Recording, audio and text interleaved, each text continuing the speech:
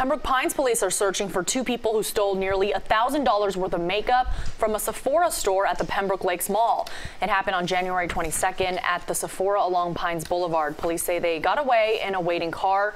Anyone with information on these people who may know who they are is asked to call police.